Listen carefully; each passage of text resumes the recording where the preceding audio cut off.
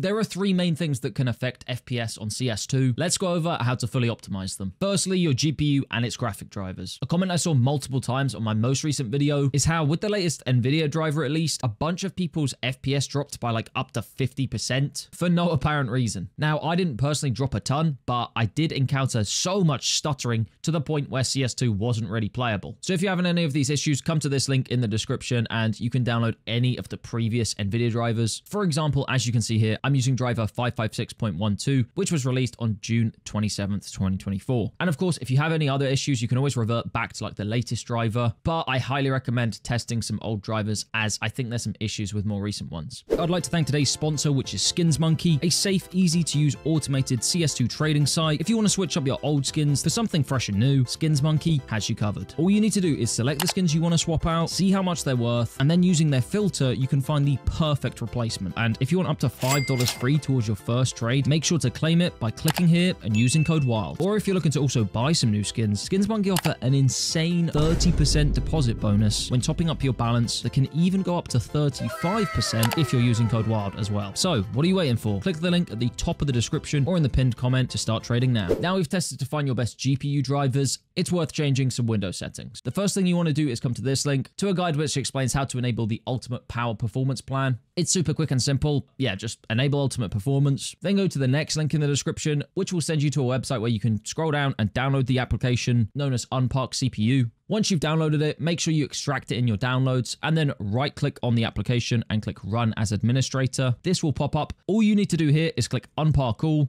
click OK, and then click apply. I mean, mine are already done, so it literally doesn't change anything. Next, you want to search up startup apps and just click on this and then basically scroll through all of these apps and disable anything that you don't need in the background when you load up your PC, obviously, because then when you go and play CS, if some of these things are still on in the background, so for example, here, Spotify, the Vanguard tray notification, you can turn all these things off because if your main focus is to play CS, then you don't want any of this open in the background unless you need it. But obviously, that's all down to your workflow. After doing that, you can then click apps and then go to installed apps and basically just scroll through and uninstall any of the bloat that Microsoft add to your PC. So this is things like the calculator or just any of those apps which otherwise you probably have on your phone or something like that. Just get rid of them. Now if you search up mouse and click on mouse settings and then go to additional mouse settings, this window will pop up. What you want to do is go to pointers and make sure that scheme is set to none. Click apply and OK and then go to pointer options and make sure guys enhanced pointer precision is turned off. This is super important. Now it will feel very weird when you turn this off because normally when you have this enabled, your mouse isn't actually inputting its raw input. Windows is almost adding some assist to it. Yeah, it's just not as precise. Pros like m0NESY and a bunch other use this. So yeah, take their word for it over mine. It will feel weird when you first change it, but trust me, it's worth getting used to. So yeah, just click apply and okay. Then search up display settings and go down to where it says advanced display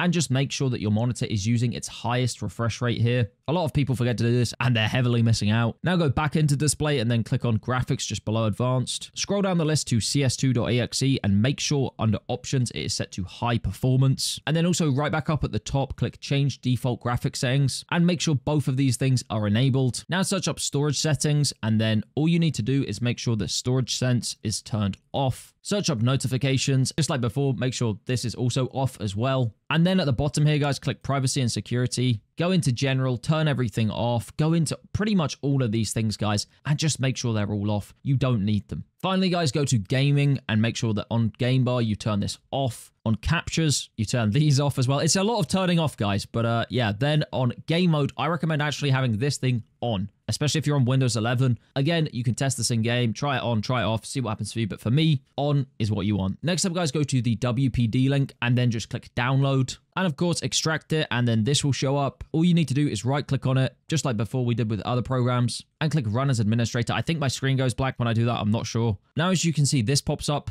and all you want to do is click disable and then block. And you can actually keep checking this. So as you just saw there, something changed. So I've now disabled it, which is good. Next, go to the blockers tab and make sure that Windows Defender Firewall is on because you want to be safe. And then make sure that telemetry is ticked. And once you've done that, you can just close out of the app and go to the O&O website and download ShutUp 10++. Once you've downloaded it, run it as administrator. All you need to do is go to actions and click apply only recommended. Now, if you want to be extra safe, I recommend creating a system restore point just in case you want to revert these changes. But after you've done that, you can close out of the app. And the last thing I recommend doing maybe is using a free app like CC Cleaner to just clear out your PC of all the junk. And right before we load up CS2, you can right click on it, go to properties, and then under launch options, I have a bunch of other stuff not to do with settings. But one thing that you might want to do is do dash Vulkan. And then what this does is if you're on an AMD or Intel GPU, this can sometimes help with performance. Sometimes it doesn't, so test it out. But if you're on an NVIDIA GPU like myself, don't even bother using this. This will like actually have a bad impact on your performance. So yeah, if you're on NVIDIA, ignore that step. AMD or Intel, give it a test, see if it helps. Now guys, for CS2 in-game settings, make sure firstly that you're playing in full screen and that your refresh rate is turned up to the maximum amount possible. Boost player contrast is minimal, but if you want the best performance, disable it. Obviously VSync, G-Sync disabled. NVIDIA Reflex low latency, realistically, if you've got a strong enough build, so like a somewhat high-end build, enabled plus boost is best, but for most people, probably enabled is best as it won't put as much stress on your GPU. I don't recommend doing disabled, so yeah, just minimum enabled. Max FPS in game, just zero because you just want as good FPS as possible. For some people, if you do limit this, then it can help with stuttering, but for most people, I just recommend zero. Now, if you want to, you can just pause it and copy these down, but basically, you want at least 2x MSAA.